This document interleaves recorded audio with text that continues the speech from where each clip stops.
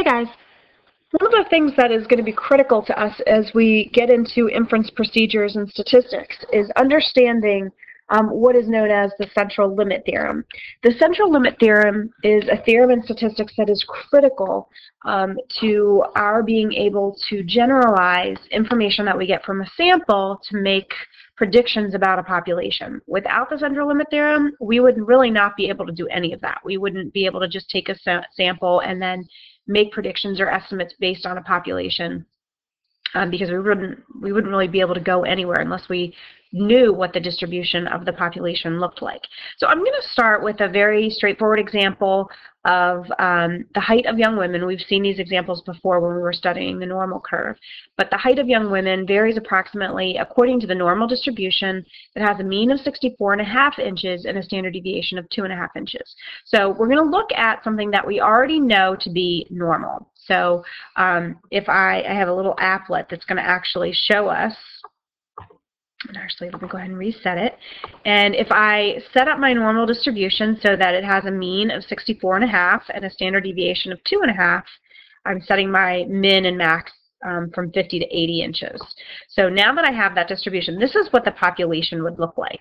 It's um, and this is just an idealized version. I haven't actually gone out and interviewed all of the young women in the country to figure out how tall they are. This would just be what the normal distribution would look like so this is a model for what the height of women would be. So this is a normal distribution that has a mean of 64 and a half and a standard deviation of two and a half. And what you can see, there's a red line that goes straight through the center. That is, the red line actually illustrates the mean for my distribution, which is 64 and a half.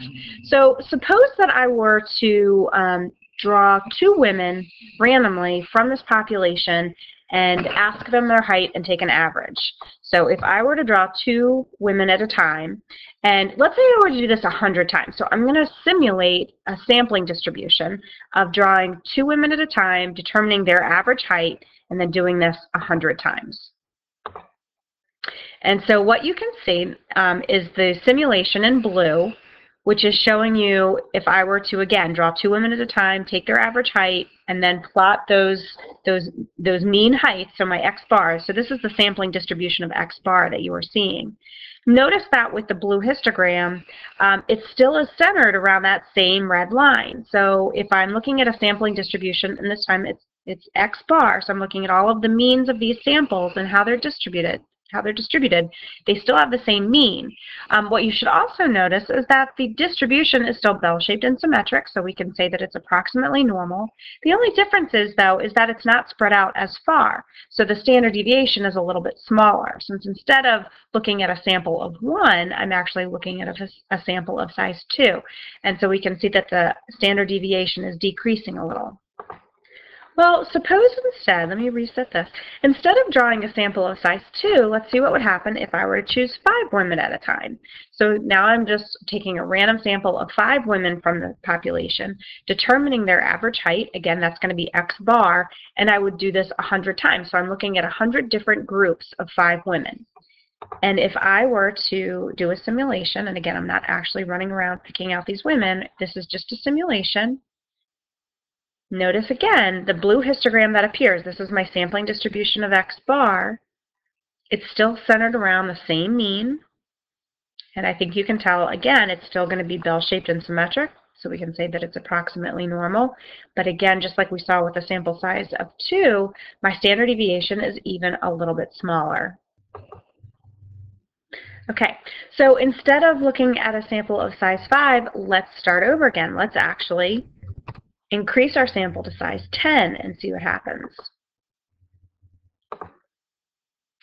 And again, the blue histogram that appears, this is basically me taking samples of size 10. So I'm interviewing 10 women at a time. And I'm finding their average height. Again, that's x bar. And I'm looking at all of my x bars. If I were to do 100 samples of 10, now this is the distribution of x bar. It is still centered around 64 and a half. That's that red line in the center. It's still bell-shaped and symmetric.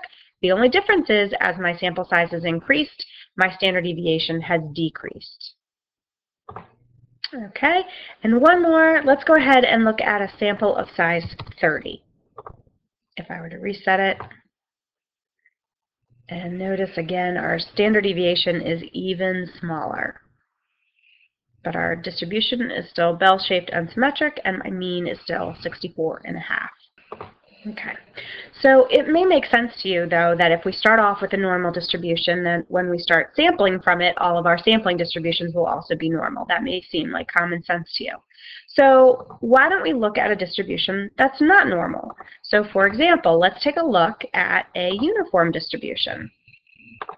So here's a, norm, here's a uniform distribution where the values of x are distributed evenly um, from negative 3 to positive 3. So suppose now, again, I'm just going to start off with n equals 2. So I'm going to look at samples of size 2. I'm going to find the average, and then I'm going to do this 100 times. And look what happens. Now, my original distribution was very clearly not normal. But as you can see, the sampling distribution of x bar is starting to look somewhat bell-shaped. It still is relatively flat, but I think you can see pretty clearly that it's becoming bell-shaped. Okay, so let's go ahead and do another um, sampling distribution. This time I'm going to set my sample size to be 5. So now I'm looking at choosing a sample randomly of size 5 from this uniform distribution. Let me reset everything and start it. And again, as you can imagine, my standard deviation is shrinking and my distribution no longer looks uniform. Now I think you can very clearly see that it's becoming bell-shaped. Notice again that the center of the distribution is still, in this case it would be at 0 since it's uniformly spread between negative 3 and 3. And I think you can very clearly see that it's a bell-shaped symmetric distribution. And if we reset this and look at samples of size 10, again, the mean is still centered at zero. The standard deviation is even smaller. My distribution is clearly no longer uniform. The sampling distribution for X bar is becoming more and more normal.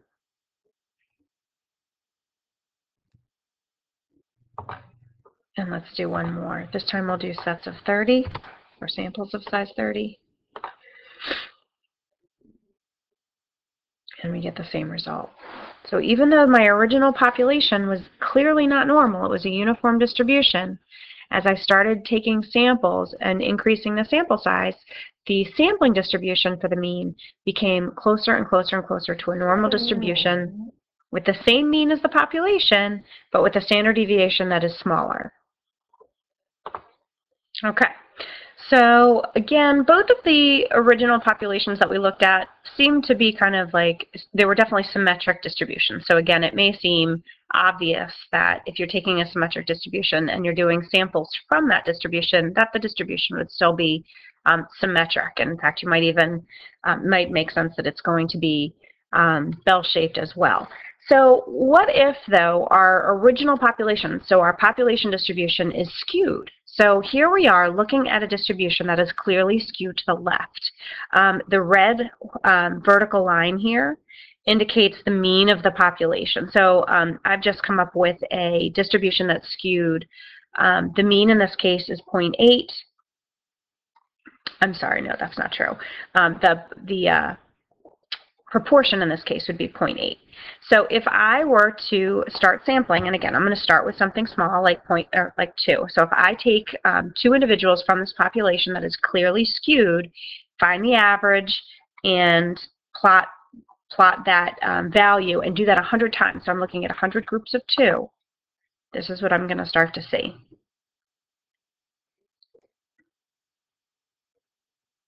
It's still very slightly skewed,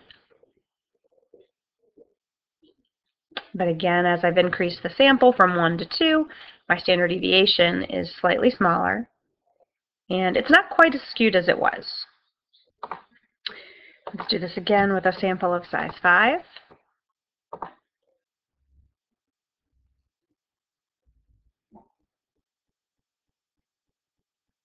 Again, it's still centered on that red line. And I think you can see that it's no longer um, as clearly skewed as it was before. Here we do with a sample of size 10.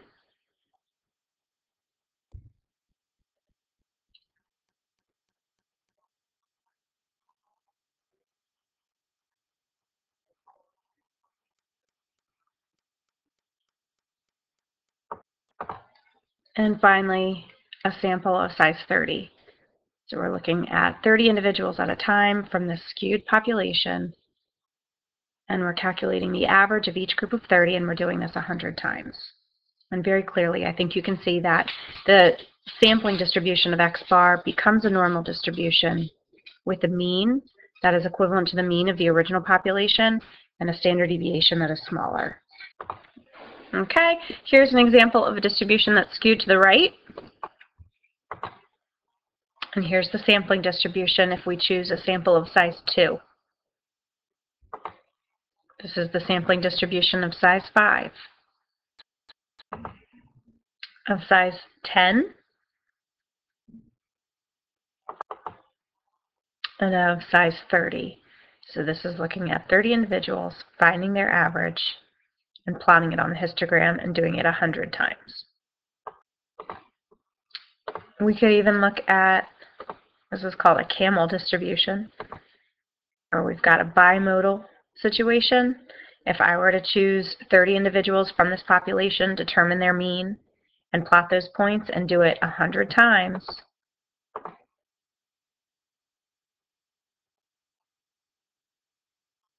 I still get a normal distribution where the mean is still the same as the mean of the population and the standard deviation is smaller than that of the population. So these examples that we've done illustrate the central limit theorem, which basically states that if we are drawing samples from a population, so we're no longer talking about a single individual from a population, if I wanted to find the likelihood of drawing a single woman that had a height over 70 inches, I would have to know that the original population was normally distributed in order to use the normal probability model to, to find her probability. But if I'm talking about a sample from a population, it doesn't matter if the population is normal or not. If I'm talking about drawing a sample of, say, size 5 or size 30, um, more likely a, a larger sample because as the sample size increases, the sampling distribution becomes more and more normal. So we can then use a normal distribution um, to find those probabilities of sample means. So we're no longer talking about the distribution of x, we're talking about the distribution of x bar.